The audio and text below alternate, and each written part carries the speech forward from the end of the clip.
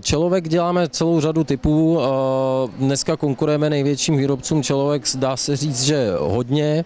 Eh, Jednak jsou dostupné ty čelovky ve všech cenových kategoriích eh, a samozřejmě i s ohledem na užití, takže od amatérských čelovek nebo pro běžný použití někde na chatě pro, pro přes čelovky pro sport až pro profesionální čelovky třeba pro jeskyňáře nebo horolezce.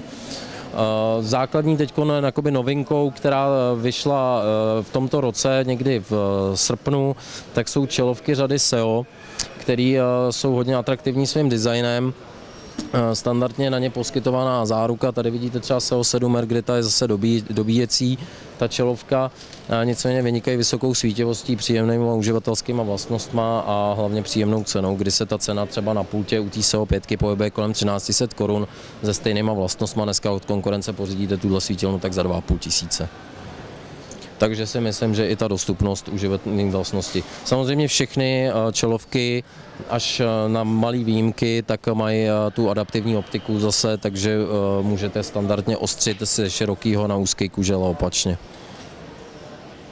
Nejprodávanějším typem těch čelovek jsou H7 a H7R, eh, což je vlastně tady ta a tady ta.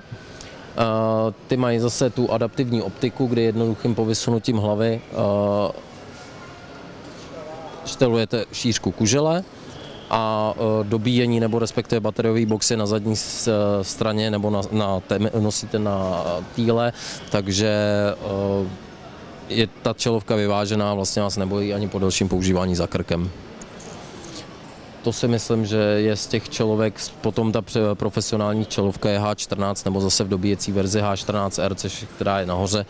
A to jsou čelovky, eh, které už jsou pro to profesionální použití a vyznačují se velkou šířkou kužele a vysokou svítivostí.